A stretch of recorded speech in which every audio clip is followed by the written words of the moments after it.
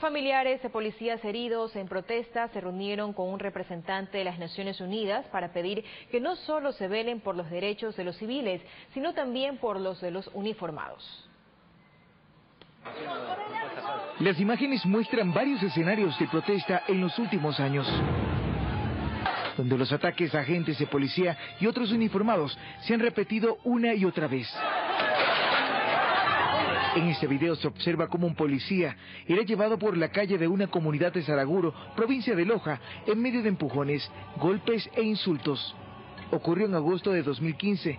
Era el policía Jaime Revilla. Ya me habían venido tirando bastante agua con aquí en la cara, casi ya no tenía mucha visibilidad.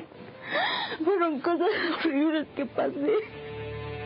En los cuerpos de estos hombres, mujeres, padres, madres, hermanas y hermanos que laboran en esta profesión han quedado las secuelas. Y por ello este martes una delegación fue recibida por el coordinador de la ONU en Quito y hace un llamado a la sociedad. Nuestros esposos o nuestros familiares o nuestros hijos no salen a, a buscar problemas, ellos salen a trabajar.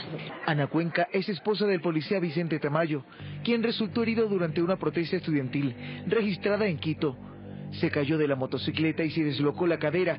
En este video se observa cómo fue golpeado por los estudiantes.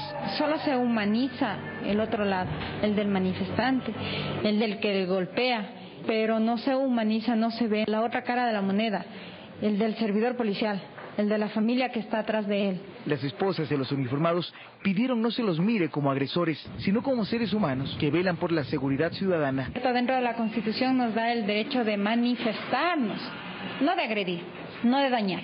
Tras la reunión con el coordinador de la ONU en Quito, se acordó mantener un diálogo constante con el fin de remitir un comunicado oficial a la Comisión Interamericana de Derechos Humanos, así como videos que avalan el irrespeto a la integridad de los agentes policiales. Alcibia de Sonofre, TC Televisión.